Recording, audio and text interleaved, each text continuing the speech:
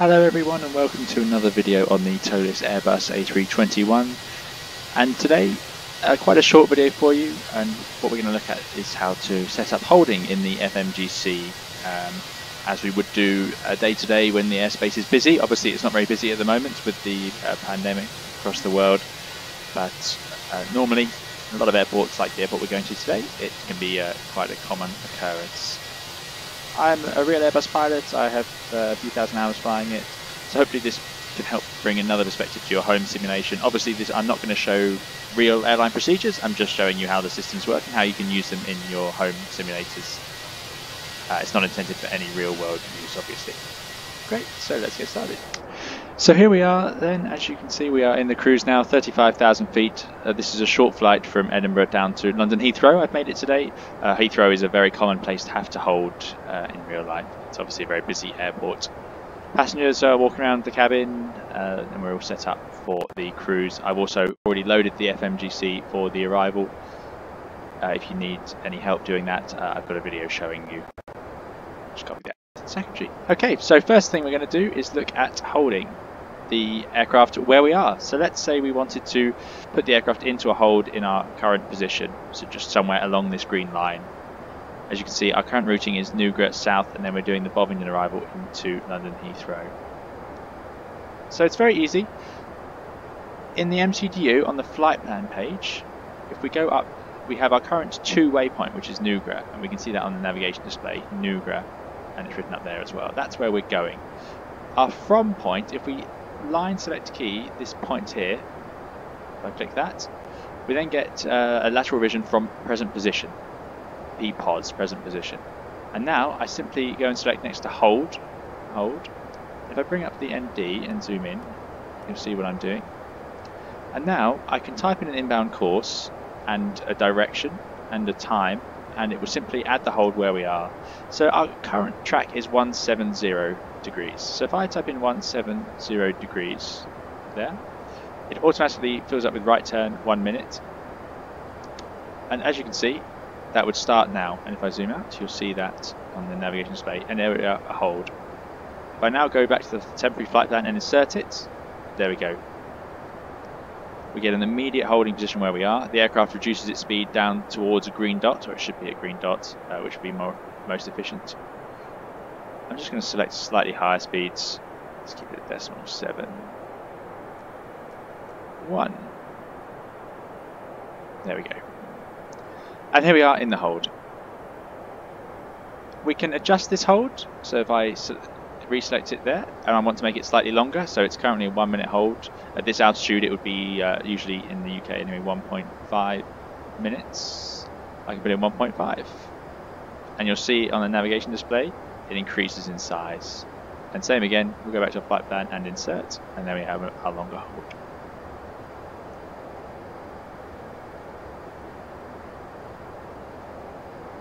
It's also possible to adjust the inbound course. Let's say we want to make it 180 and the Airbus will fly an entry into that. Rare to change a hold once you're in it, but there we go. When we're done with the hold, let's say air traffic say, okay, you can continue now to Newgate. If I press immediate exit, the Airbus will fly straight back round to the point we were at. And we now have discontinuity, which I will clear out and insert. And now we should see the Airbus fly around this loop and back straight out towards Newgate.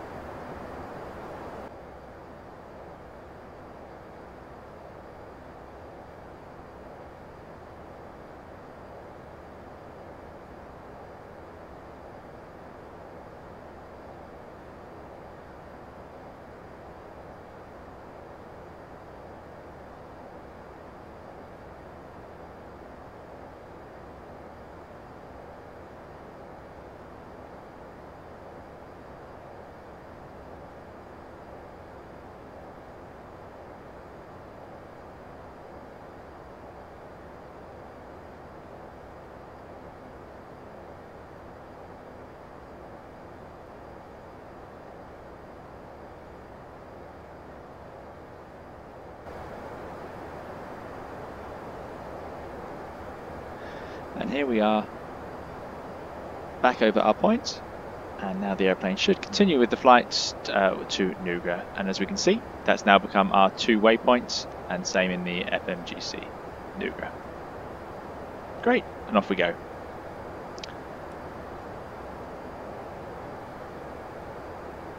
So, what if air traffic control wanted us to hold at this waypoint, at the Nugra waypoint? I'm currently planning on flying the Bovingdon arrival, although that doesn't, I think that starts at Nugra. Yep. Um, is there a hold calculated for us? Of So there's no hold there uh, from our chart. So for this one, it'll just be a case of whatever air traffic tells us, or it could be whatever we decide. So it's very simply uh, the same as what we did to do a present position hold, except we'll select the point we want to hold at. So we want to hold at the waypoint Nugra. If I select next to it, and now go to hold, and then inbound course. So we could just do computed, which I believe in this case would just be what we arrive at Nugra at. So if I do computed, 170 right turns. If there was a database hold, that would mean it's a hold that is coded in there, uh, for example, on one of these arrivals. So one of the later waypoints, Westcott or Bovingdon has a computed hold because we can see it on the chart, but Nugra doesn't. So there we go, 170 right turns one minute, and I can return to here and do temporary. And there we go. Now we can see our hold over Nugra just as we had earlier. And it's exactly the same if we want to uh, leave that point as well. Once we enter the hold, we can do immediate exit.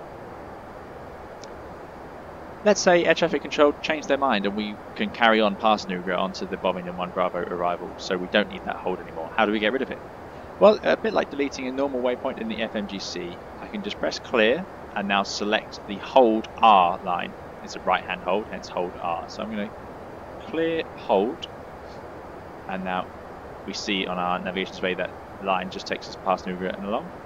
Now I'll insert that, and there we go. It no longer exists in the uh, flight plan in our uh, computer. So there is a couple of ways of setting up the holds for our arrival.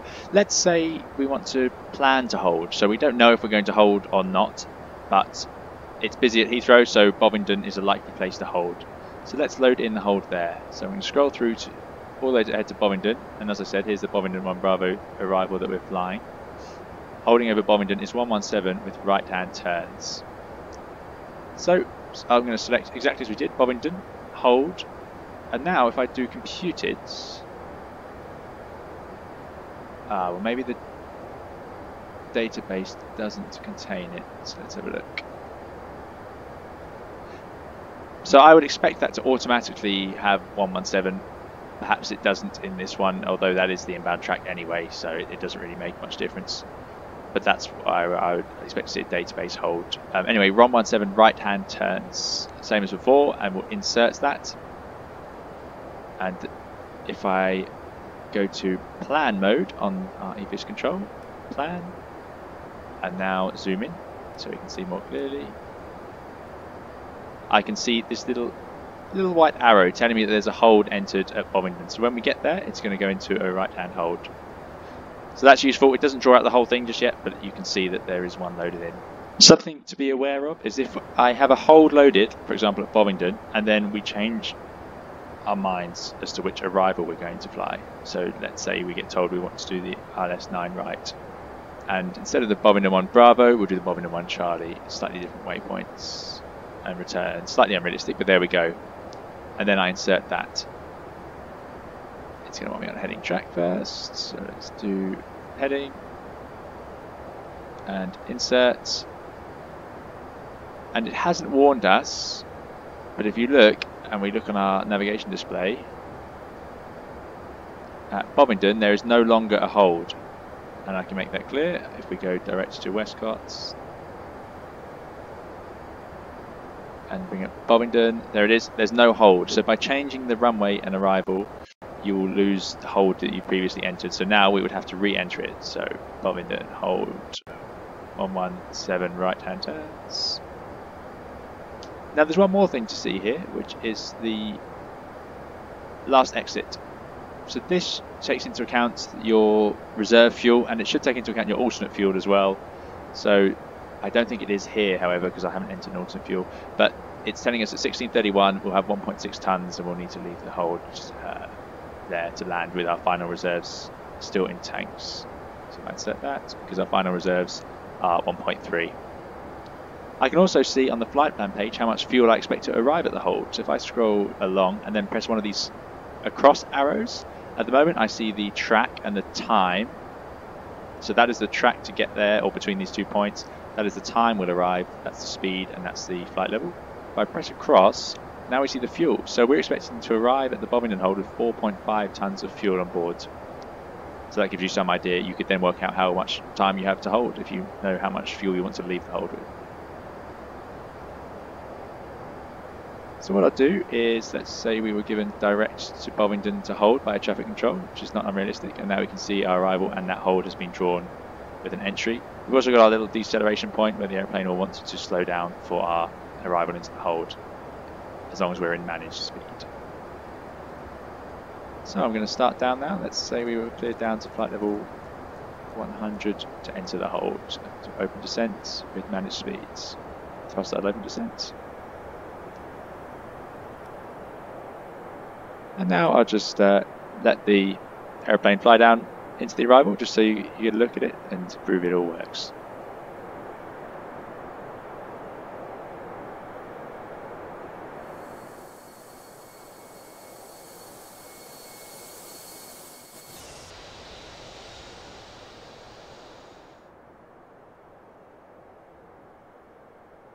As we got closer to the hold, I wanted to see if the aeroplane would warn us about our entry speed. So as you can see, we're currently doing 300 knots in selected speed. If we were in managed speed, as we passed that magenta dot on the navigation display, the airplane would have automatically reduced its speed towards the hold. Because we were in selected speed, I was wondering if the airplane would give us a warning. In real life, uh, some fits of Airbus, the MCD will give you a message saying uh, set hold speed or something like that to warn you that you're too fast for the hold entry or speed error it didn't uh, could just be this fit of airbus or maybe the simulator doesn't have that feature but there we go so it didn't warn me. So i've entered the hold uh, far too fast. You you couldn't enter hold at 300 knots realistically. You'd go too wide. And now i'm using the speed brakes to slow us down ready for uh, the next phase. But that's what i was doing here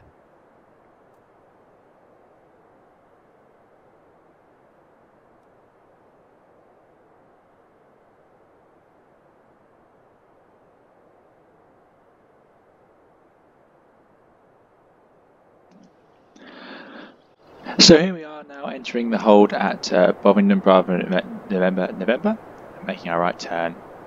And we can see I've gone into managed speed, we're level at flight level 100, and the managed speed gives us a green dot, which is should be uh, the most efficient speed for us to assist in the hold at. If we look down at our MCDU, it's all as we saw earlier, we've got a hold right hand turn in here, the option to immediate exit, uh, and then the waypoints for the rest of the arrival along there. So if we immediate exit, the airplane will fly back to Bovingdon and along the uh, green string that we drew out in our flight planning stage. Something else I wanted to show you, uh, slightly uh, trivial I suppose, but if we're in the hold, air traffic will often clear you to descend because you'll be in a hold with aircraft above and beneath you, and as the aircraft beneath you begin their approaches, you'll all keep descending. So it's rare to hold for a long time at the same flight level. So let's pretend air traffic control clears us to descend now to flight level uh, 8.0. I can put an 8.0 there, as we saw with our autopilot tutorial videos. I can now uh, choose how to do it. I wouldn't want to descend too quickly in the hold because there could be airplanes beneath us. TCAS would show us usually, but even so, if you're in a hold, the chances are there's airplanes ahead of you or beneath you. So what I'll do is uh, select 1,000 feet per minute, which would be a calm rate of descent. It also means we get out of the way quick, quickly enough for the airplanes above us. So then two dots pull and speed, vertical speed, and we'll stay in the hold and descend. As we pass through 10,000 feet, we'll start preparing the airplane with a few other uh, things that we might do at this point. But there is another way. We can also just push for managed descent, thrust idle des, and in the real airplane, that would normally give us a 1,000 feet per minute descent rate. It seems that in this airplane in the simulator it does a thrust idle descent. So that's actually slightly too fast. So probably, yeah, we would select 1,000 feet per minute.